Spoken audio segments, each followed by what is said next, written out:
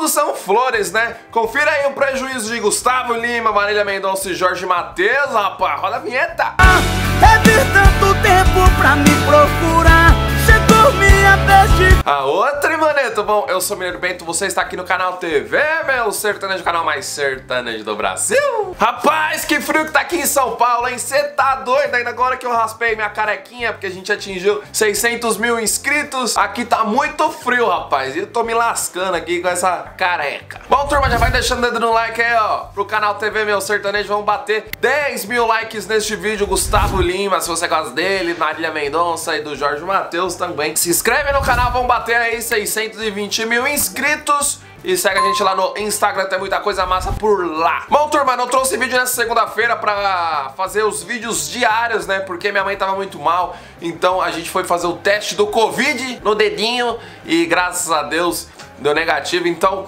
Bora trabalhar, rapaz! Bom, turma, a gente lançou ontem, como não teve conteúdo aqui no canal, a gente conseguiu lançar, já, já tinha editado, né, o podcast do TV Meu Sertanejo. A gente fez o resenhando do álbum da dupla Henrique e Juliano ao vivo no Ibirapuera.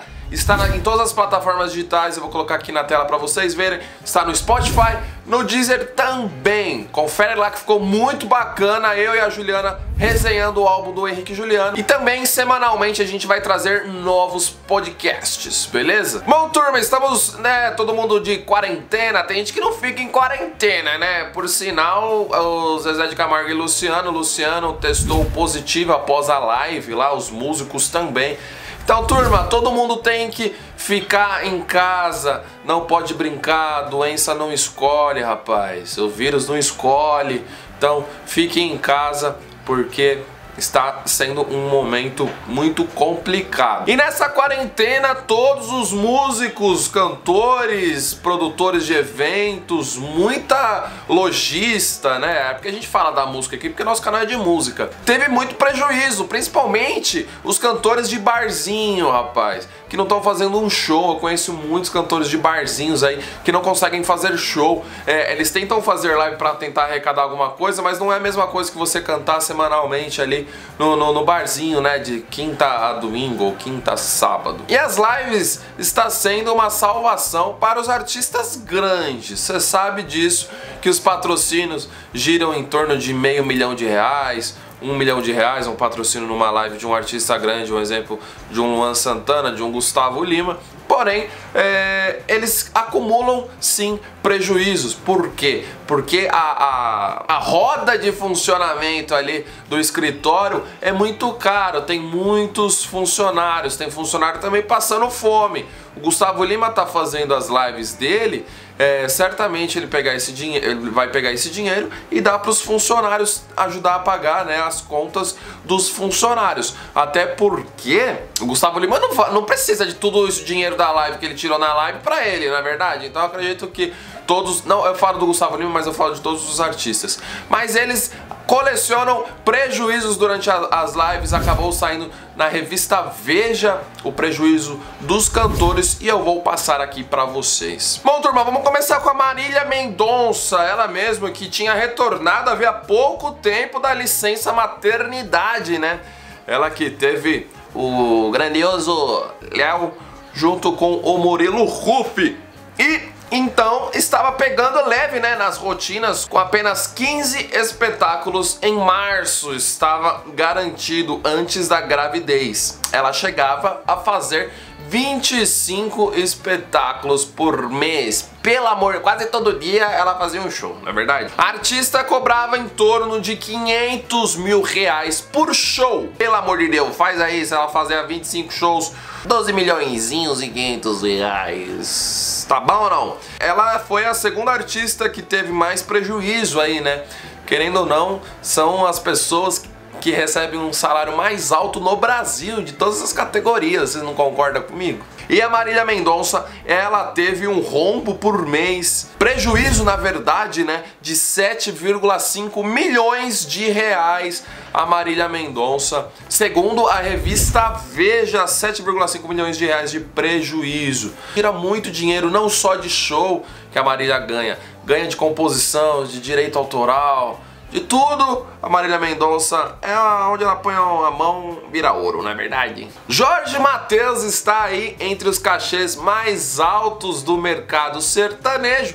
Ele que cobrava aproximadamente 400 mil reais e fazia 15 shows por mês. Então vamos fazer o cálculo aqui, se ele fazia 15 shows vezes 400 mil, 6 milhõeszinhos. Lógico que não vai ser 3 pro Jorge nem 3 pro Matheus, mas pelo menos um e meio para cada um, eu acredito que cada um levava para casa, desembolsava para casa. E o rombo por mês que eles estão tendo aí é de 6 milhões de reais. O Jorge e o Matheus, lógico.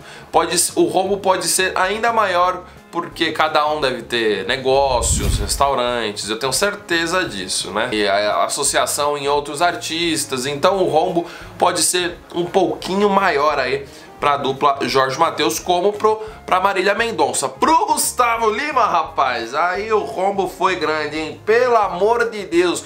O Gustavo Lima, é, ele que faturava 700 mil reais por show, inclusive a gente já revelou aqui para vocês. Eu quero trazer um novo vídeo para 2020 para vocês em breve sobre isso. Ele fazia em média até março ele conseguia fazer 15 shows por mês, em alguns casos mais de uma apresentação por dia. O Gustavo Lima, que a apresentação dele poderia chegar a 800 mil reais por conta do boteco, se fosse um show só dele era 700, se fosse um boteco era 800 mil reais. Lógico que os cachês poderiam subir, porque em alguns lugares os artistas pegam a portaria. A portaria é o que? Metade da portaria vai para o artista, metade para o contratante. Depende aí do contrato do show. O bar normalmente também vai para o artista. E o Gustavo Lima deu um rombo de 10,5 milhões de reais. Então, 10,5 milhões de prejuízo. O prejuízo pode ser ainda maior, né? Mesmo o Gustavo Lima tendo um contrato com algumas marcas é, em suas lives que chega a beirar um milhão de reais, o Gustavo Lima sim tá tendo prejuízo porque é diferente você fazer uma live por mês e fazer 15 shows no mês, não é verdade? E cada show ganhando 800 mil reais. Lógico, lembrando que os 800, 700 mil reais não vai 100% pro Gustavo Lima, mas a grande parte sim, porque ele não tem empresário, né? Deve ter algum sócio ali no escritório, mas ele é o próprio dono do escritório. Então, o Gustavo Lima aí tá, tá saindo bem aí durante as lives, né? Ele que criou, ajudou, inclusive, muita gente por conta dessas lives. E o Gustavo Lima, após quarentena, ele vai voltar ainda como sendo o número um das paradas aí do, do mercado sertanejo. Ele que emplacou a primeira e a segunda música no Spotify, Saudade Sua e A Gente Fez Amor. Algo que eu nunca tinha visto no mercado sertanejo com algum artista colocar as duas músicas nas mais tocadas do Brasil, rapaz. Então é isso, turma. Espero que vocês tenham gostado do vídeo. Comenta aí o que vocês acharam, deixa o dedo no like, se inscreve no canal e ó, tchau, obrigado. Amanhã a gente volta com um vídeo novo. Vamos!